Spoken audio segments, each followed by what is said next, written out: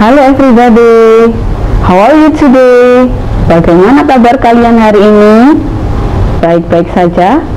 Fine, thank you. Okay, today we will learn about my house. Ada yang tahu my house itu apa? Rumah saya. Oke, my house di dalam rumah terdapat berapa ruangan? Di dalam my house ada berapa room? Yaitu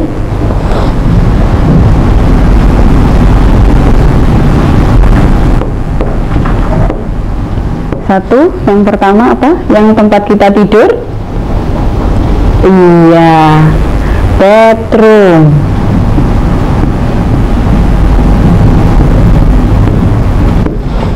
Yang kedua, second, setelah kita tidur, kita bangun, apa yang kita lakukan? Mandi. Di mana kita mandi? Bathroom.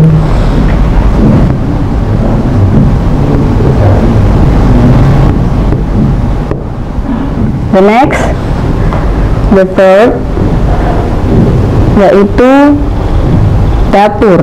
Ada yang tahu dapur? Dapur in Inggrisnya kitchen.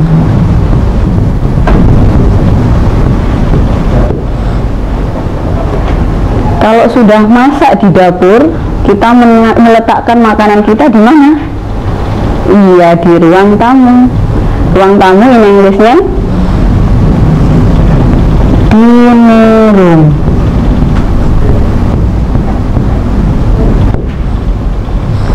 Ada yang tahu lagi di mana bagian dari ruangan di rumah? Iya, living room. Living room adalah ruang tamu. Yang keenam, six, garden. Kalau kita mau bermain di yard halaman.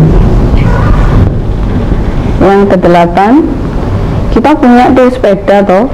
Di mana kita meletakkannya? Di Iya di garasi. What is in garasi? Garage.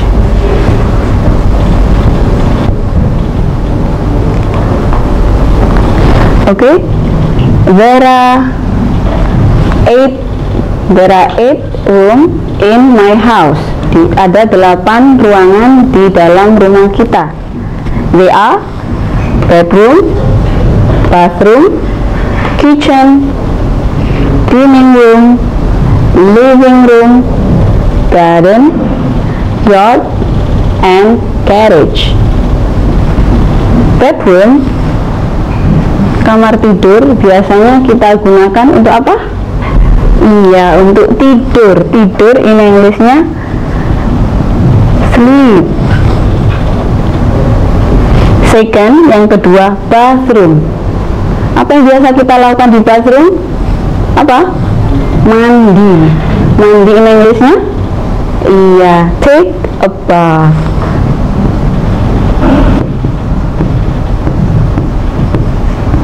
Take a bath itu mandi apa yang kita bisa lakukan di kitchen di dapur memasak memasak in Inggrisnya iya cook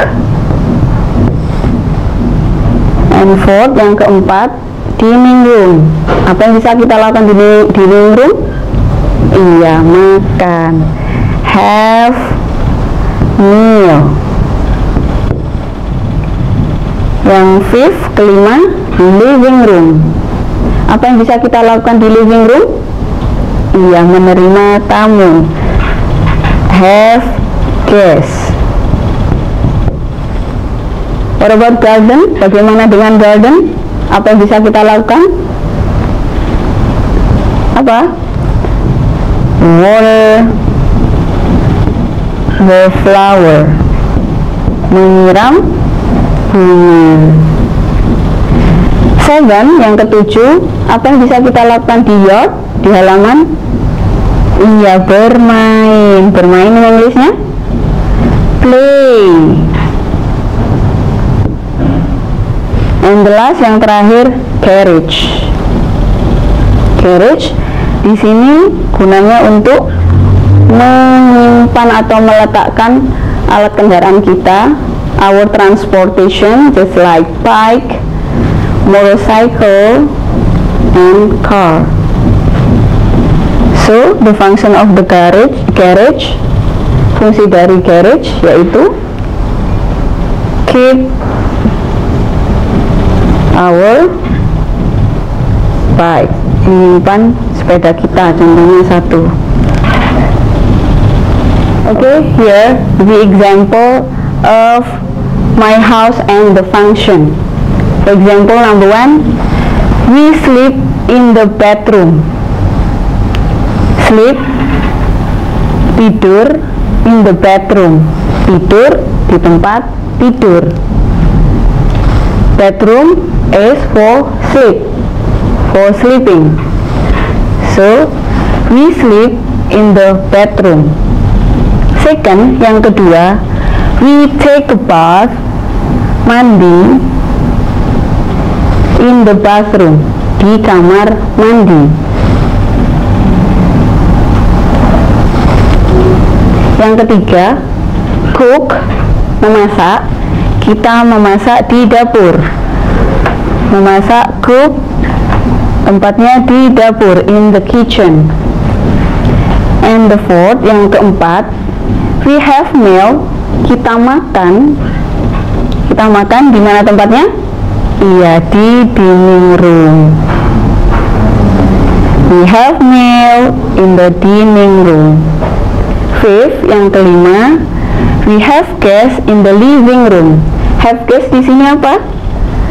Menerima tamu. Di mana?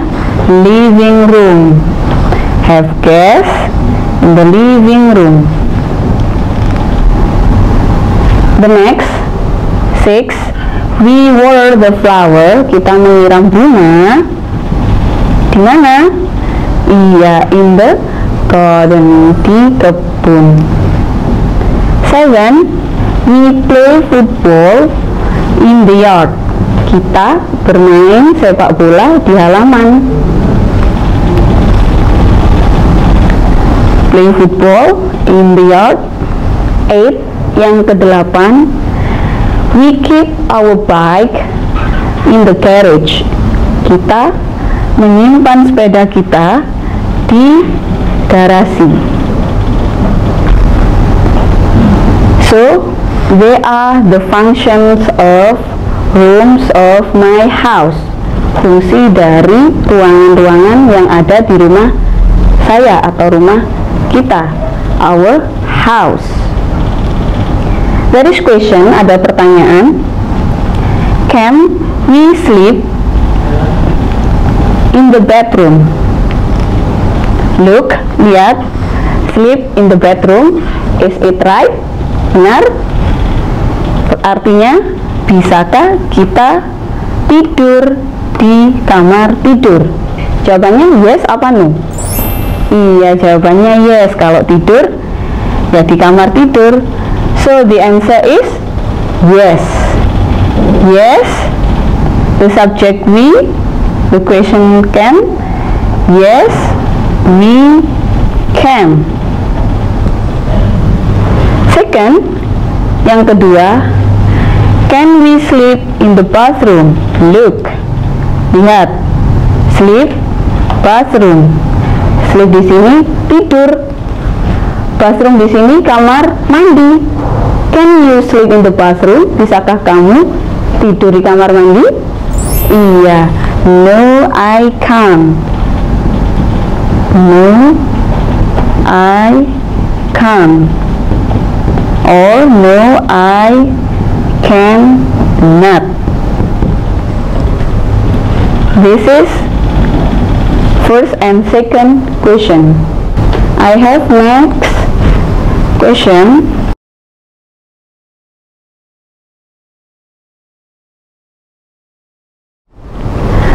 I think that's all for today. Saya kira cukup untuk hari ini.